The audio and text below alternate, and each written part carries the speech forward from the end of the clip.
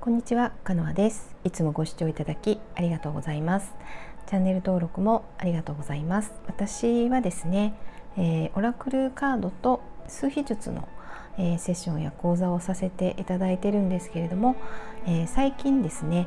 あの数秘の学びをちょっと深めてまして新たに、え今まではえー、アセンション数比術といって生年月日だけで数字のエネルギーを読み解いていたんですが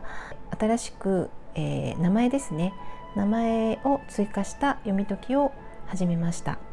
今日はそのことについてちょっとご紹介していきたいと思います、えー、生年月日はですね数比術で言うと魂のエッセンスとかブループリントになるんですねで新しい数比術ではですね名前ですね名前から数字を計算して3次元でのですね人間としての、えー、頭の意識心の意識体の意識っていうふうに数字を出すことができるんですね。で私たちは一人の人間で一つの意識っていうふうに思いがちなんですけれどもいろんなねまあ、例えば植物とか机とか椅子とかコップ全てのものに、意識があるように、えー、私たちの頭はですね頭の独自の意識があって心は心の意識で体にも体の意識っていうふうに別々の、えー、意識がそれぞれあるんですね。でなので私たちの中っていうのはとても複雑であのその数字がバラバラなので葛藤が起こりやすいんですね。で葛藤っていうのは、えー、生きづらさになりますし生きづらさっていうのは自分の、えー、言動が一致してないことによるストレスなんですね。で自分の名前の数字のエネルギーを読み解くことでその葛藤や生きづらさとかちぐはぐな意識の原因っていうのがわかるんですね。例えばですね頭の意識っていうのが数字が6だったとします。で6はみんなと一緒にいたいとかでつながっていたいとか人とのつながりをすごく大事にするんですね。そして頭は6なのに体の意識が7だとします。7は1人のスペースとか1人の時間を大切にしていて1人でいたいなっていうふうに思う数字なんですね。でそうすると自分の中で葛藤が起こってみんなと一緒にいたい人といたいつながりたいのにもう人といるのが面倒だってなって私って人が好きなのか嫌いなのかって言って葛藤が起こるんですね。でそして人が好きっていうあの思考パターンっていうことは人とつながることを良しとしてるわけなんですね。なので人が嫌いな自分を許せないってことになって悩んだりしてしまうんですね。なので私たちは思った以上に複雑にできていますのでどれも自分でどれもいいんですね。でそれがありのままの自分だしその持ってるいろんな数字を通してその数字を知って肯定することができればとても生きやすくなるんですね。生年月日名前と向き合うっていうことはそれを紐解いて気づきを得て数字を知ってそれで実践してみたりとかそういうことで数字と向き合うっていうことは自分と向き合うことですし、えー、自分と向き合う時に数字は意味が分かっているので行動しやすいんですね。分かりやすいんですね。どういうところであの悩んでいるのかとか葛藤が起こってるっていうのが数字を見て分かるので例えば私はですね頭ですね思考パターン頭の意識が8なんですね。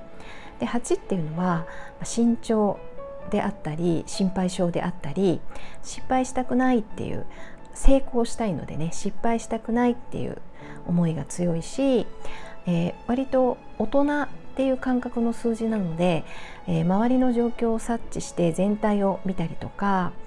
どちらかというと人を優先して自分は我慢するっていうで人のために結構努力したりとかという数字なんですね。でそれを良しとしてます。でそのような思考パターンなので8っていう数字の持つ意味を反対の意味ですね反対の意味を良くないことっていうふうにも判断しがちなんですね。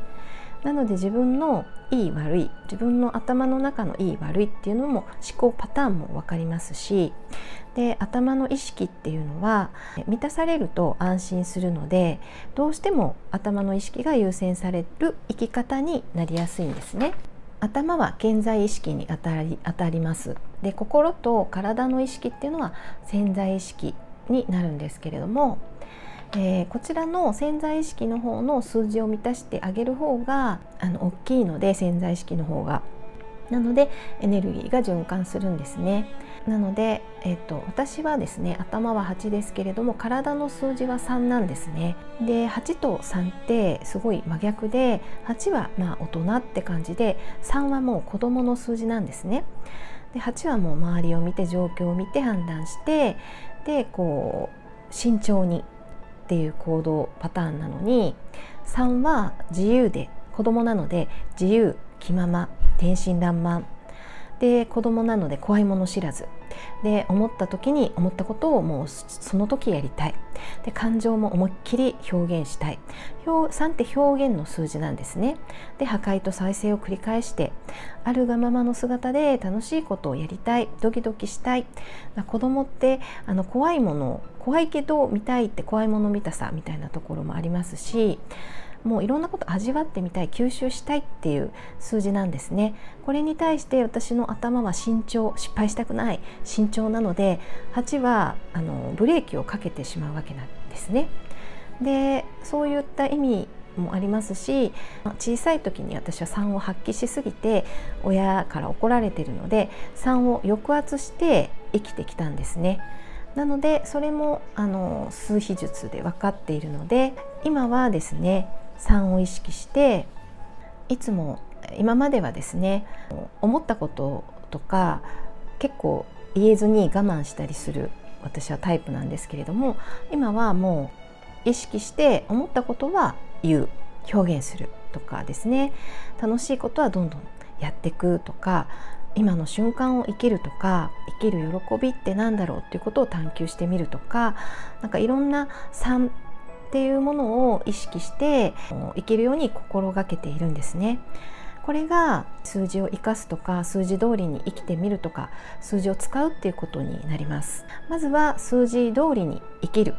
っていうのが大事であの持ってきた数字名前とか生年月日で持ってきた自分の土台とか基礎とかベースなんですね。でこれをちゃんと知って意識してちゃんとこう使うことで鍛えて筋肉を鍛えるように鍛えて使えるようにしなければ、えー、土台が、えー、そこで土台がきっちりできるものを土台も知らずにその上にぐら家を建ててもですねぐらぐらしてすぐに壊れてしまうんですね。なのでまずは、えー、自分自身の数字を知って、えー、自分の才能や資質も知って悩みの原因を知ったり、えー、自分と向き合って、えー、数字を使って実験してみたりするっていうのがとっても人生を生きていく上でも、うん、大切ですし私たちは魂の、えー、ブループリントをねここにやりに来てますのでそのブループリント通りに生きるっていうことが、えー、大切になりますので、えー、ブループリントとかそういう自分の持ってきた数字を知るってことはとても大切なことになります。なのでまずは数字数秘術に、えー、触れてみたいなっていう方はですね、えー、私、えーと、数秘術鑑定をしておりますので、えー、あの詳しくは概要欄にあの貼ってますのでそちらを見ていただけると嬉しいです。公式 LINE もやってますのでそちらにご登録していただければ割引でセッションとかを受けたりもできますのでよろしければご登録していただけると嬉しいです今ですね8月28日に、えー、友人のあのかつみんさんとですねコラボセッションの、えー、ワークショップも予定してますのでそちらもあの概要欄に貼っておきますのでご興味のある方は参加していただけると嬉しいです。では、えー、これで以上でお話は終わりになります。いつも聞いていただき応援していただき本当にありがとうございます。最後までご視聴いただきありがとうございました。